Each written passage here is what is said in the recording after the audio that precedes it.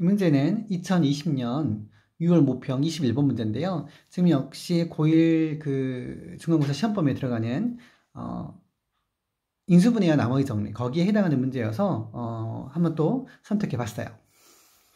자, 문제를 한번 봅시다. 최고 차이 개수가 1인 4차 단식 fx가 다음 조건을 만족시킨대요. 양수 피해 값은 첫 번째 보니까 fx가 x 플러스 2 x제곱 플러스 4로 나눈 나머지가 3p의 제곱이래요. 자, 우리는 가를 보자마자 식을 세팅하고 싶겠죠. 그래서 fx는 x 플러스 2 q1x 플러스 3p의 제곱 fx는 x제곱 플러스 4 qtx 플러스 3p의 제곱 나는 뭐 얘를 좀 정리하고 나서 생각할 수 있겠네요. 나하고 다는. 자, 얘를 정리하니까 얘 두 개 서로 같으니까 얘 사라지고 얘하고 얘하고 같겠네요. 그럼 여기서 우리는 뭘 생각할 수 있어요? 두 개 같다. 그럼 이렇게 두 개 같다고 놓고요. 어? 보니까 x 플러스하고 x제곱 플러스 하는 서로 인수관계가 없거든요. 그러면 q1x가 어, 이 두 개가 서로 같으려면 q1x라는 녀석은 x제곱 플러스 4라는 녀석을 갖고 있어야 될 거고 q2x라는 녀석은 x 플러스라는 x 플러스 2라는 녀석을 가지고 있어야지 이 두 개가 서로 같을 수 있겠죠. 왜? 서로 서로 같아야 되니까. 음, x 플러스하고 x제곱 플러스 4가 서로 지금 인수관계가 없으니까 이 두 개가 같으려면 q2x는 이 녀석을 가지고 있고 Q1X는 인수를 가지고 되는 얘기죠.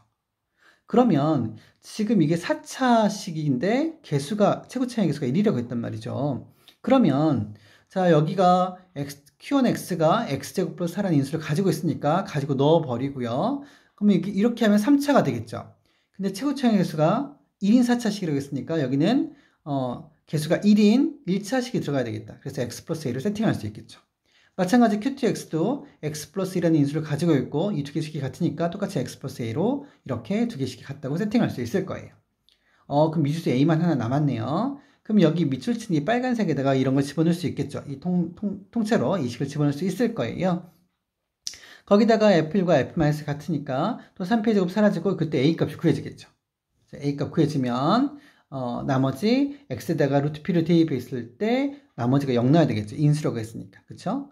자, xpx의 인수란 얘기는 어, 이걸로 나눠 떨어진다는 얘기니까 1차식이잖아요. 그래서 x가 루트 p일 때 나머지가 0이다. 이걸로 문제를, 문제를 풀 수 있겠죠. 그렇게도 되고요. 어, 또, 어, 이렇게도 할 수 있겠죠. 자, 두 번째 식이 x의 제곱 플러스 4이니까 q2x는요, 무조건 x에 관한 2차식이 있어야 될 거고, 계수는 1이겠죠. 그러면 x제곱 플러스 ax 플러스 b로 세팅할 수 있을 거예요.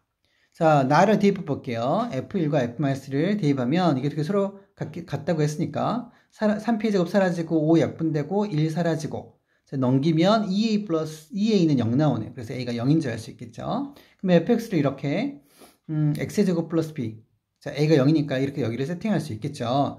자, 그런데 이 녀석이 X 플러스 2로 나눴을 때 나머지가 3P의 제곱이거든요. 자, 어, x 플러스 2로 1을 나눴을 때 나머지가 3P의 제곱이에요. 나머지 서로 같으니까 나머지 없애버리면 이 녀석이 결국 x 플러스 2라는 어, 녀석으로 나눠 떨어져야 된다는 얘기죠.